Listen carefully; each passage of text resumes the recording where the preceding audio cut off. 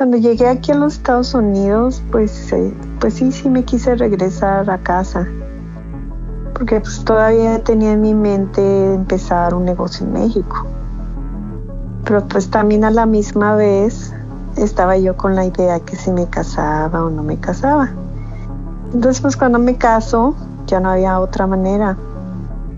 O sea, mi vida estaba aquí ya en California comienzo a llenar todos los documentos para que me dieran la residencia. Y con eso por un tiempo ya no pude salir. Entonces fue cuando pasó lo de mi papá. Llegó un momento en que yo creo que él ya sentía que en cualquier momento podía fallecer. Estaba joven, tenía 61 años, solo 5 años más que yo.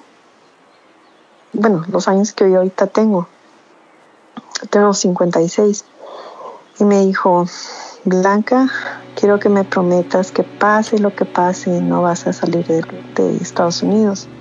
Si me llega a pasar algo o a tu mamá o a quien sea, me dijo, no pierdas la oportunidad de que te den tus papeles y eso se convierta en una realidad.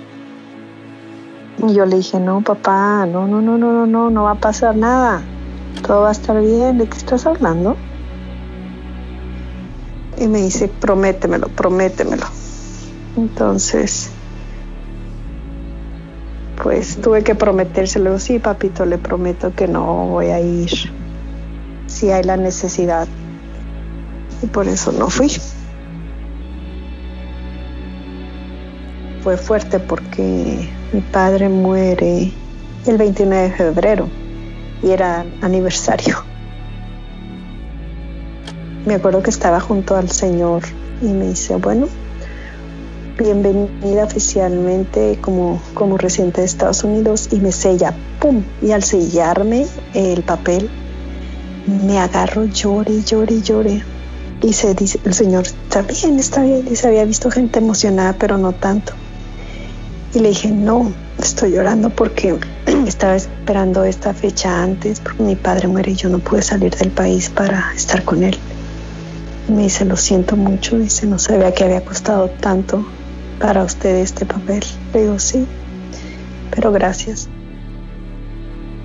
Eso fue un 12 de mayo, o sea, fueron meses después que me dieron mi residencia. Y es algo que siempre va a quedar ahí. No le pude decir adiós a mi papá. No lo pude ver en sus últimos días. Pero he meant to be. Siempre que pasa algo, siempre ya ves que he dicho, todas las cosas pasan para bien, por algo.